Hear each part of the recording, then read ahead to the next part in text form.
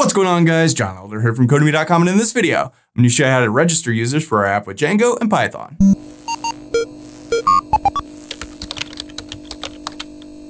Alright guys, like I said in this video, we're going to look at registering the users. But before we get started, if you like this video and want to see more like it, be sure to smash the like button below, subscribe to the channel, give me a thumbs up for the YouTube algorithm, and check out Codemy.com where I have dozens of courses with hundreds of videos that teach you to code. Use coupon code YouTube1 to get $30 off memberships all my courses, videos, and books for one-time fee at just $49, which is insanely cheap. Okay, up until now, we've been registering new users from the admin section of Django, Django's admin panel, right? In this video, we want to start to build out an actual web page where people can register themselves without having to log into the admin section like we've done earlier. So this is going to take us several videos to do because as you can see, this doesn't look great. We're going to want to make this look better. We'll do that later on. In this video, we want to get this up, make it functional, make it start to work. And that's what we're going to look at. So let's head back over to our code. I'm using the Sublime Text Editor and the Git Bash terminal as always. And as always, you can find a link to the code in the pinned comment section below, as well as a link to the playlist with all the other Django videos in this series. So let's head over to our members section and our views.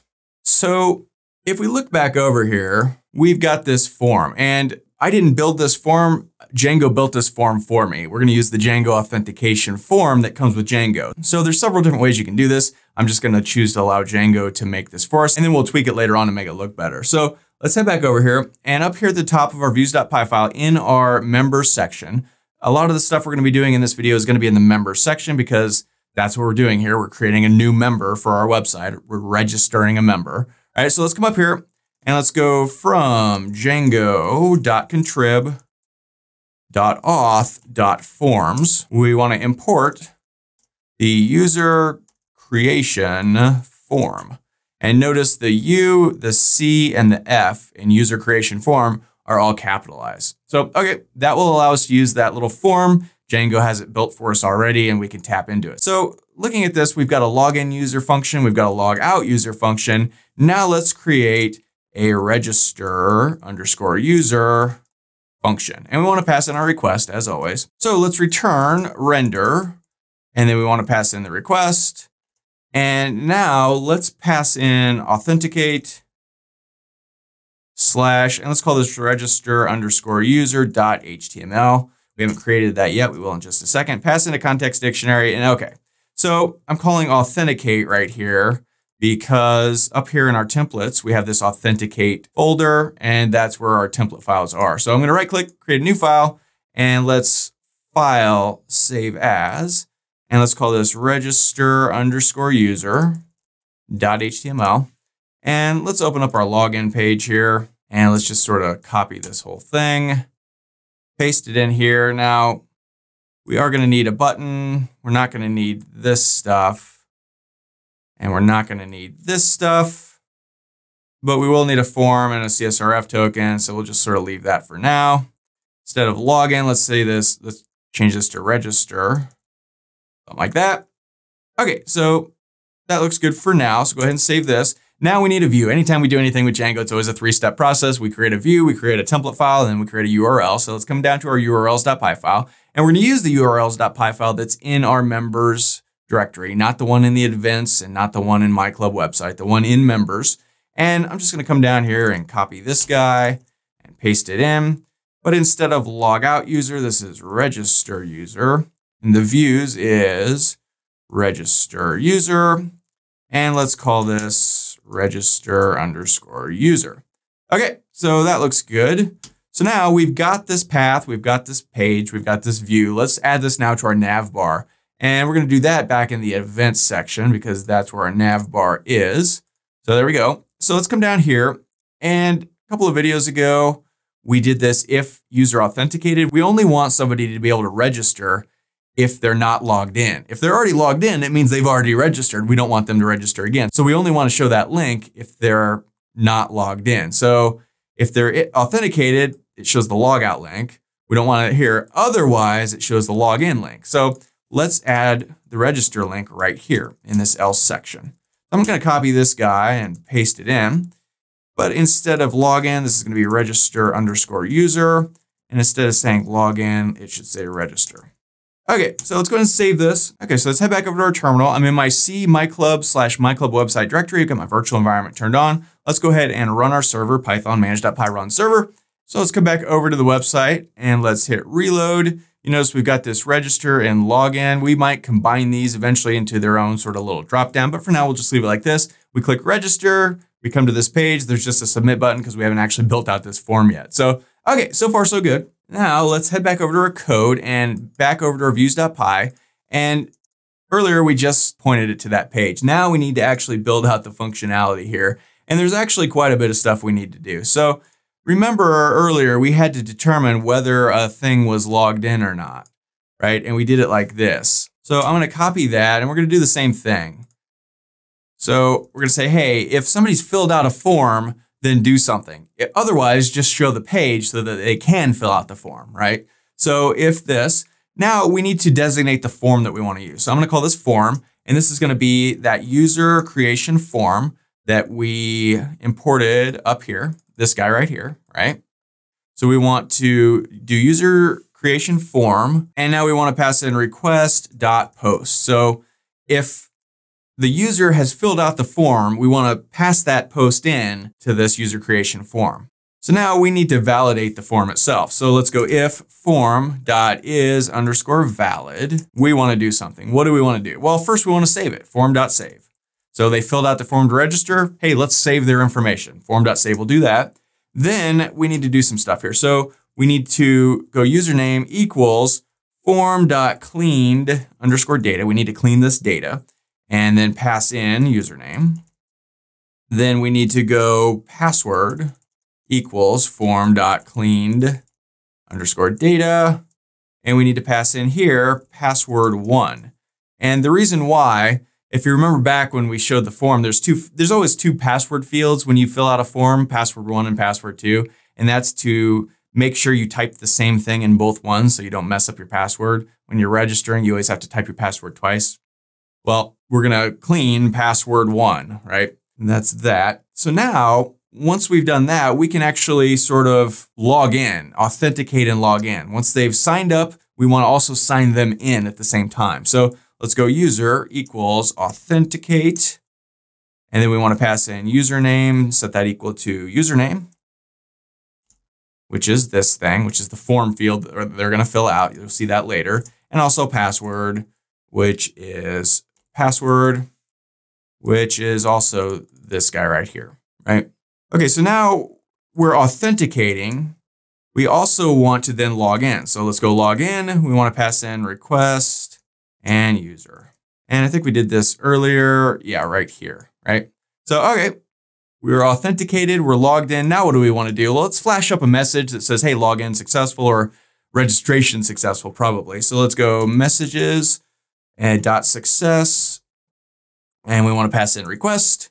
And we want the actual message to be registration successful or something, whatever. So now let's return redirect and then just point them to the home page. Okay, so that was a lot of stuff. So if they didn't fill out the form, that means they want to fill out the form. So here we can go else and the same thing, we want to pass in this thing. Let me just copy this, but it's going to be slightly different.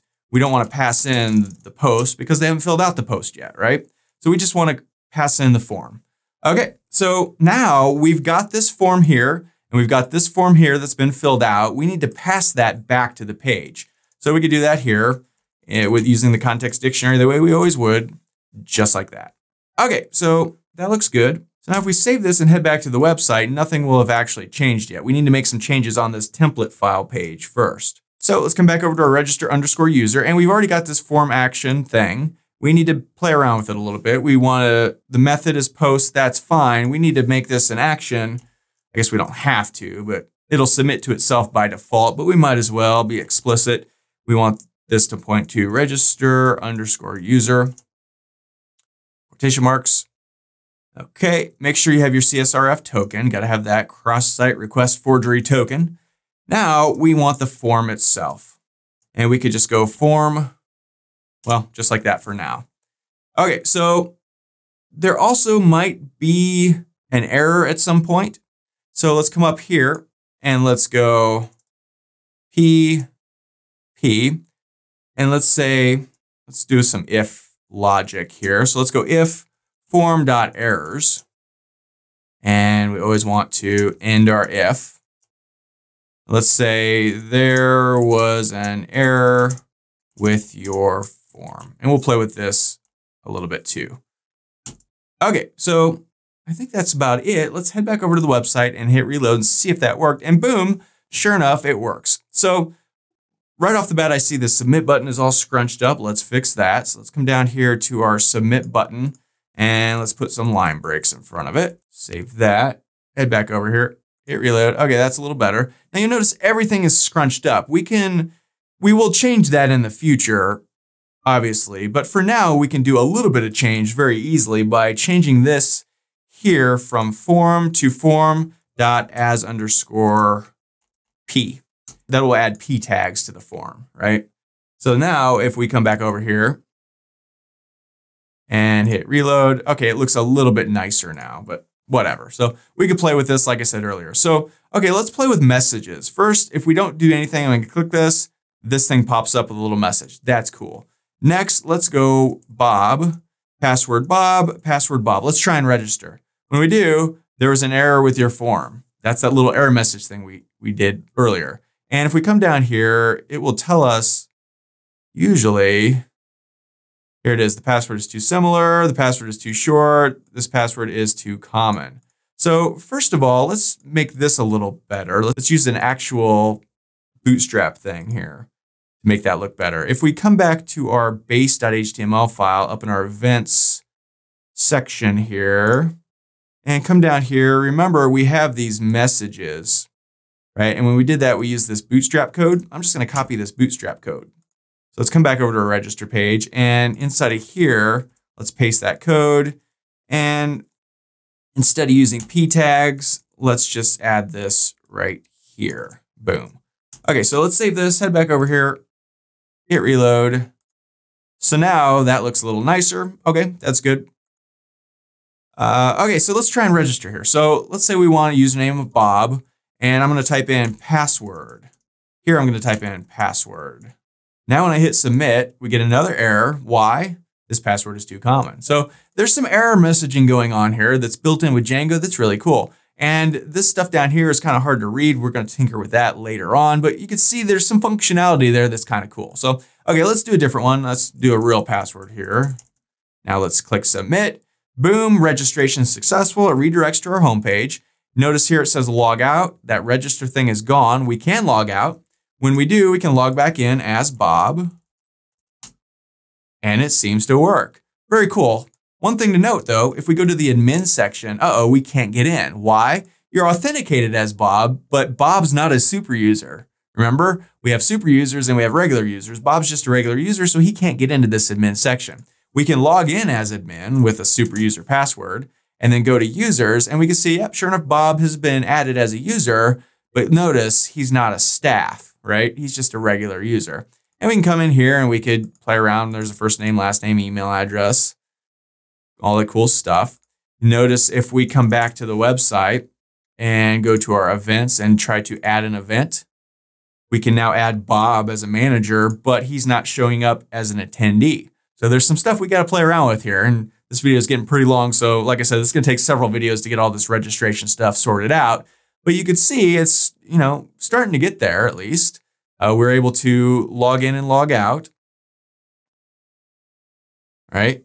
If we try to register again as Bob with, you know, some other password here and click submit, oh, we get an error. A user with that username already exists. So really cool functionality involved in there, and we'll play around with that and, and learn more about it in the coming videos. Uh, but pretty cool. So Moving right along, we've got our registration form up and sort of working. It doesn't look great. We'll tinker with that. But this is the first step and pretty easy to do using the built-in authentication stuff that comes with Django. And that's all there is to it. So that's all for this video. If you liked it, be sure to smash the like button below, subscribe to the channel, give me a thumbs up for the YouTube algorithm, and check out Codemy.com where you can use coupon code YouTube1 to get $30 off memberships. It pays $49 to access all my courses, over 47 courses, hundreds of videos, and the PDFs of all my best-selling coding books. Join over 150,000 students learning to code just like you. My name is John Elder from Codemy.com, and I'll see you in the next video.